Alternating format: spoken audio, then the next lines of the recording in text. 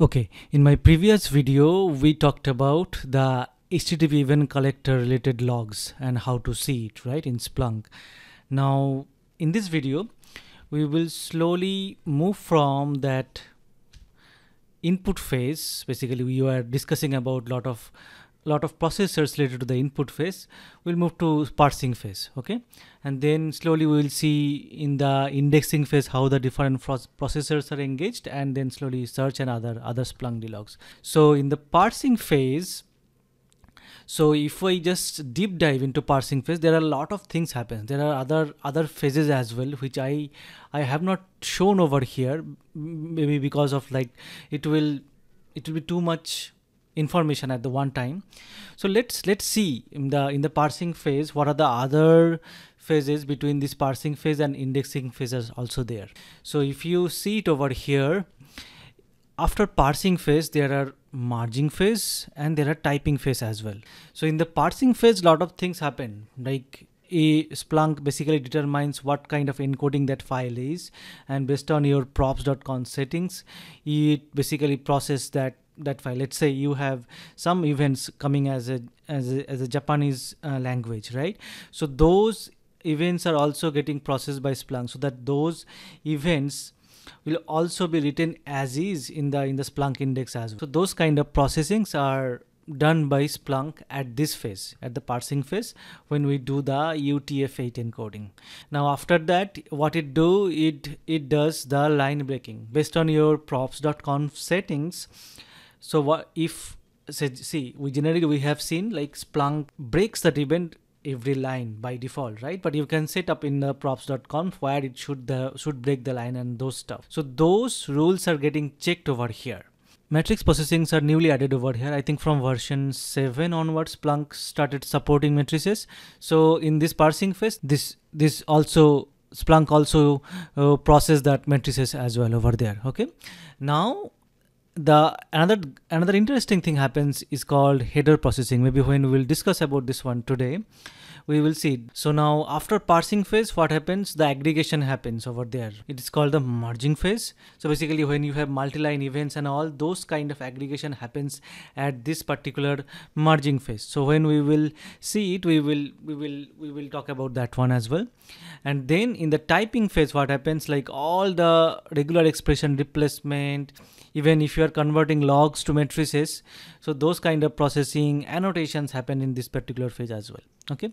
If you see like this, this parsing phase these are all become actually the part of the parsing phase only but those are different different phases over here. So for different different phases as we have seen it like different different processors are getting involved over here. So let's start with the UTF encoding. So generally what happened, like as I said, when you have events coming in different languages other than English, let's say Japanese, Korean, so so the UTF-8 processor getting are getting involved over here. So what it what it basically output it outputs the UTF encoded data. So for an example, let's say, uh, and and the and the component name over here is the UTF-8 processor over here. Now for an example, let's say I have this this data coming up, shift JIS data. So this is Japanese data. Now if I so if I if the UTF-8 processor is getting engaged and it will be engaged in this case so output will be something like this one over here and this portion this this is the one actually will be getting indexed into Splunk similarly for the line breaking so we will we will see a demo today after after this one so in the line breaking phase what happens like we are our events are coming up into Splunk, right? The raw events. And then there is a processor called line breaker which basically breaks the events according to the rule in the props.conf settings over there. Now if you see splunk supports or splunk basically process csv files and json files as well over there right? Now now before that like this is the processor you should be uh, seeing in the splunkd log over here. Now if I just come back to the CSV and JSON processing, it will be similar kind of stuff, right? The same line breaker will be engaged over here and what they will do, so they will basically process the CSV and JSON data and also it identifies what kind of fields needs to be extracted over here. If you remember like for uh, CSV and JSON, you do not need to write field extraction logic separately right so you just write index extraction equals to json so that that will basically take care of the all the field processing related to the JSON objects, right? Even if you just select the source type as CSV in Splunk, it will, it will automatically process all the CSV file and automatically extract all the fields from there. So that is how it works over here. So during the line break, it determines what kind of file it is and what kind of fields also it needs to be extracted over there and header processor as we as, as i told this is a very interesting feature in splunk. I don't know how many of you know about this one. So there is an app maybe i think when i was seeing the code of that app i have seen this one at the first time. I think it is the email email indexing indexing app. Maybe if i just find that app i'll i'll be giving that link in the in the video description as well. Just have a look at the code of that how it is ingesting the log. And over there they have used this particular technique whatever we are going to discuss today to index the data into Splunk. So now this is how it goes. So let's say from a host 1 we have a host called host 1 we are we are sending the events to Splunk something like this one. So if you see there are three stars then the Splunk word in a capital letter and then three star again. Then we have given some host equals to some other host name and we have some sample log files over here log lines over here. So we have sent these two lines into splunk. So how splunk will process this one? So there is a processor called header processor over here. So so if you have if you whenever splunk will see this particular string over here right? So it will consider it as a header. And then according to the settings in your props.conf it will process it accordingly. And how it will process? If you see it over here it ignores the first line based on the props.conf settings obviously. Uh, and what will happen? The host value if you see like we have given a host value over here, right? Even though our actual host, which is sending the data is the host one, but when we are sending the event into Splunk, we have actually overriding that host name with some other host name over here. That's why whatever event will be getting indexed into Splunk, it will be indexed with this particular host name, not with this host name. So that is the difference over here. And this is, this is called the header processing in Splunk as well. And the processor name is header processor.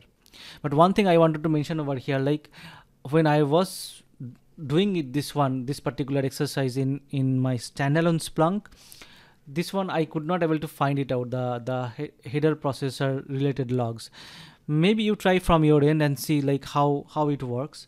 Maybe try with the universal forwarder as well. But ideally it should work for both standalone splunk as well as log uh, log comings from the universal forwarder and other other external system. But but the idea you got it over here this is a very interesting one. So now let's let's let's see a demo how how this this thing these three things works over here. Utf-8 processor and the line breaker. Maybe i'll try to show you this one as well but i tell you to show you the other logs how, how it is created. But as i as i said i could not able to find the header processor logs in splunk. Okay so first we will see the utf-8 related stuff over here. So for that what i have done it over here is so there is a data as I as I've shown you in the in the PPT and this one I have downloaded from the Splunk itself. So this data is a actually a JIS data. That means if I if I just talk about the character set over here, it's called shift dash JIS and it's a Japanese data. Okay, as I have shown you in my PPT. Now, whenever we want to index this kind of data into Splunk, what we need to do is as Splunk by default applies UTF-8 over here. So if you want to process any other kind of data encoded data over there. So you need to mention the character set in the props.conf okay? If you see it like i have created the props.conf and with this particular stanza and i have given the character set as shift dash jis. So with this one we will be able to index the data particular data in that format. So let us see it. So before that we are talking about UTF-8 processor right? So let us go to settings server con server settings. Now in the server logging if I just search for UTF-8 if you see the current logging level is 1 over here. So that means until unless some error or some some warning is coming up over here it won't it won't log anything over here. Now as we are doing some experiment so I will make it as info now. So in in normal day-to-day scenario you do not need to make it as info. Even most of you will not be able not have access to this particular screen as well because this mostly belongs to the uh, admin privileges. So now I am doing this one because I just wanted to show you this this this stuff happens how this stuff works over here. So so I made this one logging level as info then what I'll do is I will go to settings and I'll go to add data. So from here we will be trying to upload that particular data over here. So I'll select that file. Let's say gis data.dat just now I have shown you this one. Now source type I will be selecting. If you see like without that source type it is it is reading that event as is right? So basically it is trying to apply the UTF-8 format. Now if I just select the source type whatever source type I have mentioned it over here gis underscore data. So let's see what what happens over here. So once I selected that one if you see it is already encoding like this one. So so that's the difference over here. So if I just go ahead and index it to my main index so let's see what are the stuff coming up in my into my underscore internal index. So we will go to index equals to underscore internal source type equals to splunk for last 15 minutes the component if you see it over here the UTF-8 processor is coming up over here right? Now we need to find out our data over here. So that's why we will search with shift JIS so this one the the encoded the encoder we have given it over here. So if you see it like these are the three logs generated by the UTF-8 processor. The first log is that no character set was discovered with character set auto setting from the initial content. So using this particular character set for for the encoding purpose. And then this is just convert this using this particular character set and those those related logs over here. It is coming up over here. So that's the UTF-8 processor. Now let's move on to the line breaker. So that's a, that's a very easy one actually. So we will go to the similar way. We'll try to see in the settings whether the line breaker is what is the level log level? It is still one see if you see like another stuff you when you make it to info like any any of these particular channels you make it to info and you restart splunk it will automatically move to its default level. That means the one for the log line breaker or utf-8 processor over here. That's also another uh, interesting things to know. So so the line breaking processor we make it as info then we will just try to add some some data over here. Let's say a CSV file. Okay. So we'll just upload a CSV file over here. So if I just show you that file over here this is very simple CSV file I have taken over here. So nothing nothing fancy stuff over there. So if I just go to next source type equals to CSV if you see Splunk already identified this particular file as CSV that's why it is selecting this particular source type automatically. Okay then you'll go to next and review and submit.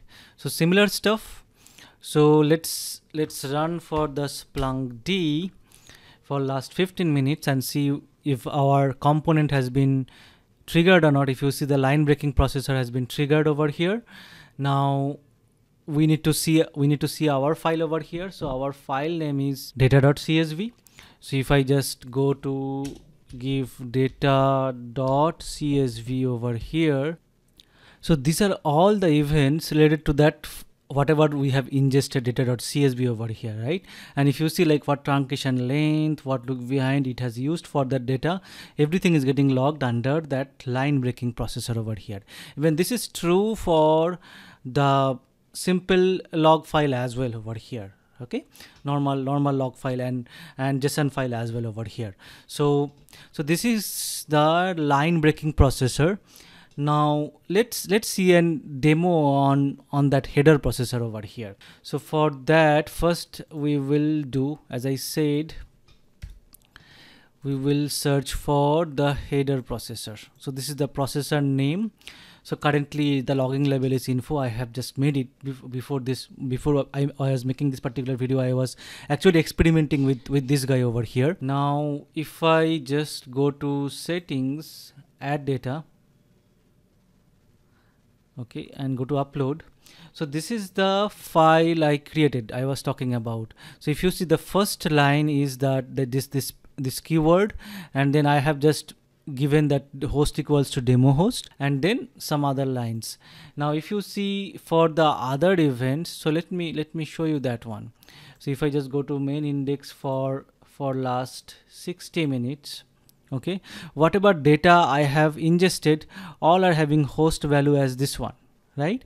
So now we are trying to basically replace this host name or override this host name with our own host name okay that's why we are sending this this this this particular line with our events over here so now if i just go over here in the add data select that particular file let's say header data.txt I'll go to next.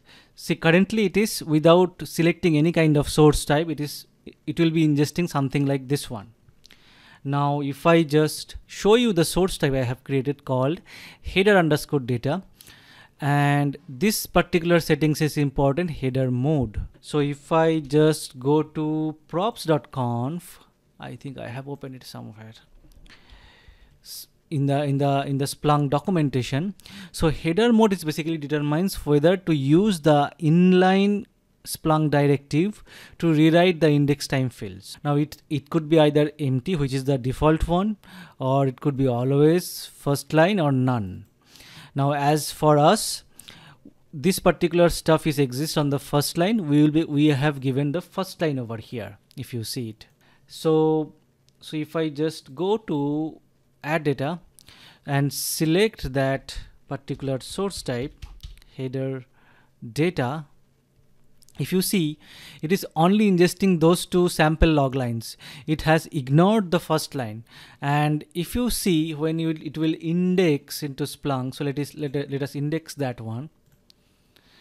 Now if i just search it for last 60 minutes source type equals to header data right?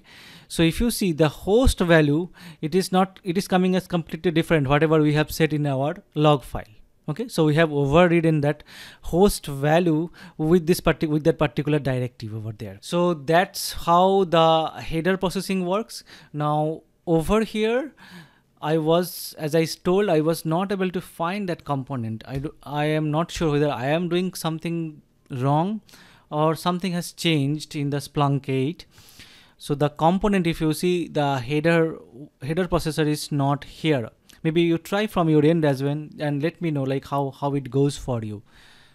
So so hopefully we got a fair idea about three things like the how UTF-8 processor works how the header processor works and how the line breaking rules works okay? In next videos we will talk about more stuff about the parsing phase. Then we'll slowly move to the indexing phase. So hopefully this video was helpful. See you in next video